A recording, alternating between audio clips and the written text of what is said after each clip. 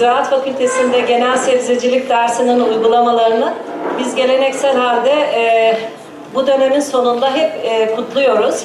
E, bu biraz daha kapsamlı oldu.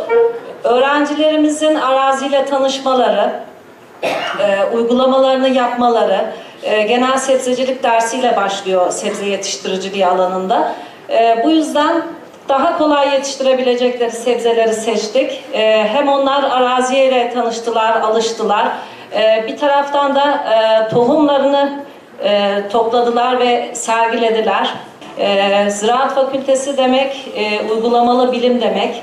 E, benim için e, arazide e, olmadıktan sonra sadece teorik bilginin bir önemi yok. Öğrencileri de e, ikinci sınıftan itibaren alıştırmaya çalışıyoruz. kendi ürünümüzü kendimiz yetiştirelim nezdinde yapmış olduğumuz bu faaliyet hasat şenliği gerçekten eee, oldukça etkin, oldukça faydalı ve aynı zamanda da girişimciliğin bir örneğidir.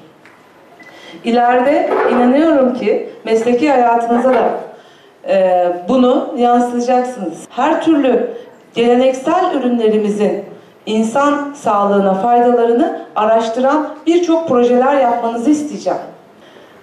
Size en önemli mesajım bir şeyi kafaya koyduğunuzda onu gerçekleştirmek için çok çalışmaya devam ederseniz o gerçekleşiyor. Çünkü bir e, ne olmak istediğinizi, ileride nasıl bir iş yapmak istediğinizi şimdi öğrencilik yaşamınızda karar verin.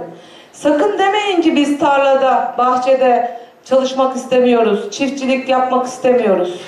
Bizim amacımız aynı zamanda sizlerin bu tür e, tarımsal faaliyetlere, bizim bulunduğumuz arazinin aynı zamanda buna bu iklime uygun olması, yetiştirmeye uygun olması, diğer taraftan da yapmış olduğunuz her faaliyetin sadece Malatya gibi düşünmeyin.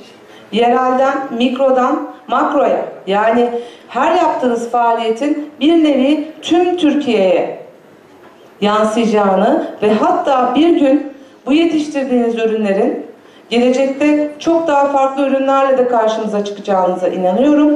Her birinin bir nevi biz sizlere çalışmasını yapacağız. Bunu akademik çalışmalarla hep diyordum ya işte ilk günden beri sizlerle söyleşiler yaptığımızda sizleri artık tarlalarda görmek istiyorum. Akademisyenlerimize de söyledim. Laboratuvarlarda görmek istiyoruz. Bizler her türlü sizin yanınızdayız. Her zaman bu tür faaliyetlere yeter ki siz ilgi duyup bizlerin sizler için hazırlamış olduğu yeni güzel sürpriz projeler de olacak.